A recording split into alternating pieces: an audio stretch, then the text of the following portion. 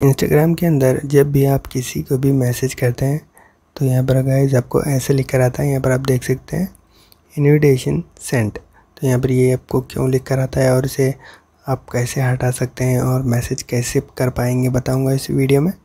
तो इस वीडियो को ध्यान से देखिएगा और लास्ट एंड तक देखिए। अगर गाइज़ आप स्किप करेंगे वीडियो बढ़ाएँगे तो आपको बिल्कुल समझ नहीं आएगा।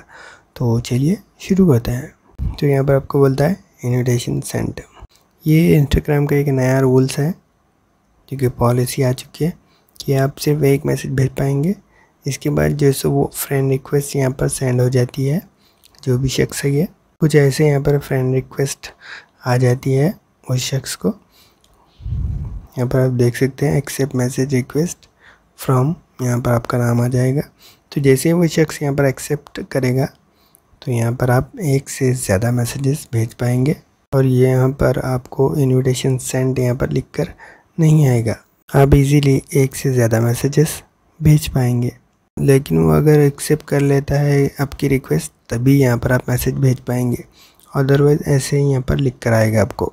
तो उम्मीद करता हूँ आपको वीडियो अच्छा लगा होगा। अगर वीडियो अच्छा लगा तो लाइक कीजिए शेयर कीजिए और चैनल को सब्सक्राइब करना दिलिए थैंक यू वेरी मच